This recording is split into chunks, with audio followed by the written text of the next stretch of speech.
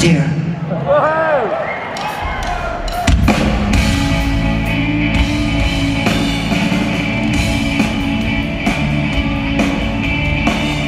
Was it destiny? I don't know yet. Was it just by chance? Could this be his man?